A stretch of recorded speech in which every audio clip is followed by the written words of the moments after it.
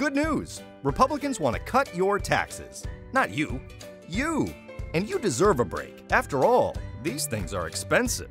So Republicans want to give you, the millionaire, another tax break, all while charging seniors $6,000 more for Medicare. This guy? Her? They don't need it. They'll just buy groceries and pay the mortgage. But you? You're going places. And Congressman Dan Lungren will knock down anyone in your way. The Democratic Congressional Campaign Committee is responsible for the content of this advertising.